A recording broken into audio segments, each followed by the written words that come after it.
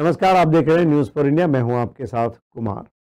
पाली शहर के निकट सदर थाना क्षेत्र के भालेलाव गाँव में शक के अनुसार छोटे बेटे के द्वारा 55 वर्षीय माँ पानी देवी और 30 वर्षीय बेटी कविता को मारकर डबल मर्डर के गड्ढे में दफनाने का मामला सामने आया है। तो गाँव में सनसनी फैल गई है।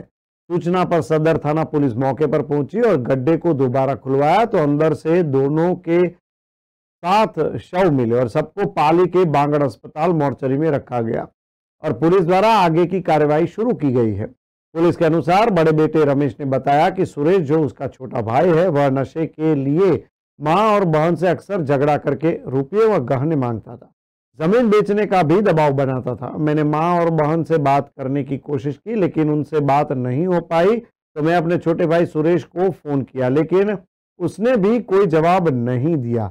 जिसको लेकर मुझे संदेह हुआ और बस के द्वारा 26 मार्च को गाँव पहुँचा माँ बहन की तलाश में रिश्तेदारों के वहाँ गया, लेकिन नहीं मिले तो फिर सदर पुलिस को सूचना दी।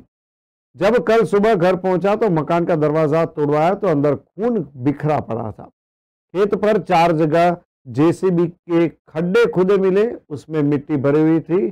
शक होने पर मकान की बाहर जेसीबी से खुदाई करवाई तो माँ बेटी दोनों के शव मिले। पुलिस आरोपी की तलाश में जुट गई है। के अंदर दो डेड बॉडी है वो मिली है।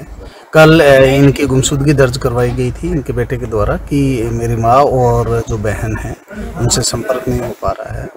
और उसके आधार पे एमपीआर दर्ज की गई और आज फिर इन्होंने बताया कि हमने आकर के, घर पे आकर के चेक किया है। और यहाँ पे कुछ ब्लड के निशान हैं।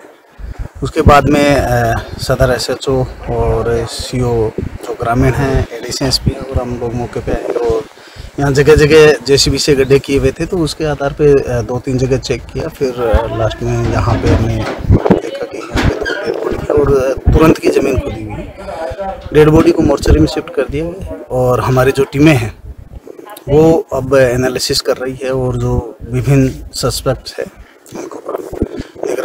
हुए हम जल्दी ही इनको पकड़ कर पूरे मामले का खुलासा करेंगे।